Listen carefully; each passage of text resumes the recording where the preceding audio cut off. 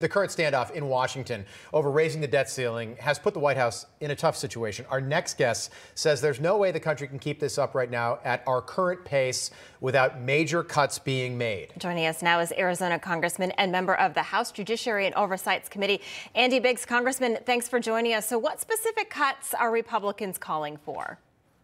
Well, you, you're going to target waste for sure. So let's think of the social welfare programs or the social nets that are out there.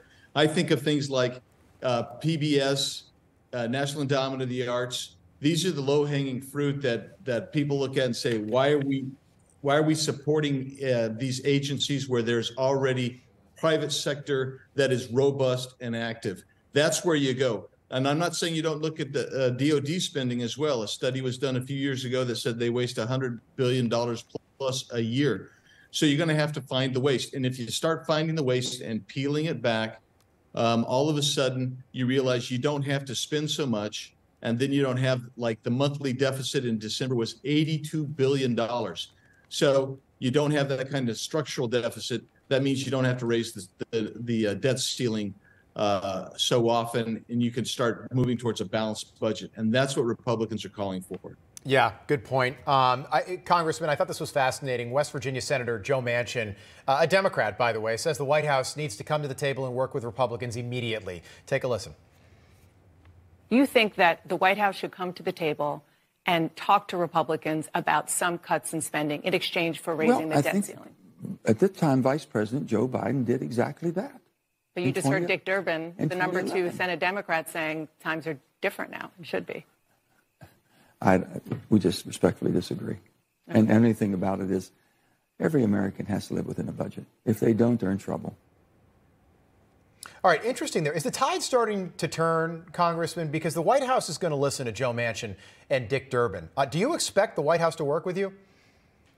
Yeah, I think the White House has got to come and, and work with us because they they're you know they've taken extraordinary measures. That's what the Treasury Secretary is doing right now. That means that everything's going to keep going but we have until roughly the third quarter of this year, and that's when that's when the, the real crisis moment hits. So we've got some time. So so Biden needs to come to the table, and we can start working out and start getting ready to programs. And I'll tell you how hard it is. I introduced a bill one time to reduce a pro, uh, eliminate a program for, for like 15 or 20 million dollar program that was duplicated. There were two other programs just like it in other agencies and I couldn't even get that through. So we have got Congress has got to step up and, and be a leader on this, and and I think the Republicans will be here but the White House has got to come to the table if we're going to solve this problem. Yeah, you just got to go line by line, right? Like we do at home with our budget. Uh, take a look at the politi- this political headline: Trump to GOP, don't touch Medicare or Social Security and debt ceiling fight. The ex-president has long viewed entitlement reform as a political loser, but his timing now is notable. Sir, if you turn on some of the the left media, they're saying this is what Republicans want to do. They want to get rid of Social Security uh, and Medicare. What are your thoughts on that? Is that going to be tough? Touched? No, uh, that's just a big uh, uh, red herring that the Democrats are throwing out there because they don't want to cut anything.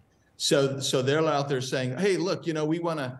This is what Republicans are going to do. They're going to throw, you know, you'll see the video of, uh, you know, the cartoon of somebody pushing a grandma off the cliff in a wheelchair.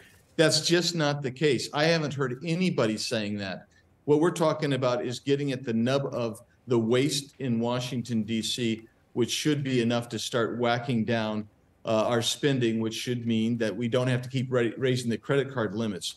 We have a problem, and it's not a revenue problem; it's a spending problem, and yeah. that's why you with with this uh, annual deficit, structural deficit, which leads to the national debt. Congressman, just 15 seconds. Uh, how would you evaluate Speaker McCarthy? Uh, we started the year with some fireworks, but uh, he's had a good few weeks. Um, got rid of proxy voting, stripped people like Ilhan Omar and Eric Swalwell of their committee assignments. How would you evaluate his first couple weeks as Speaker? I'd give him a, an A. He's t- kept every promise that he made. He's he has shown more grit, more determination, and more backbone, and I'm grateful for that. And uh, I, I, wish him success. I want him to be the best speaker ever because it means we'll have a great uh, yeah. a great term. All right, Congressman Andy Biggs, great state of Arizona. Good to see you again, sir. Thanks for being with us. Thank you. All right.